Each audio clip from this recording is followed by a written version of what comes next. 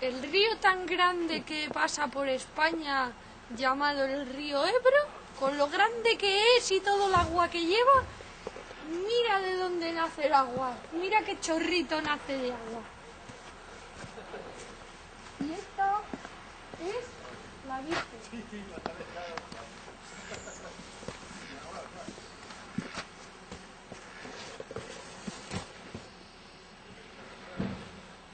La Virgencita del Camino Seco.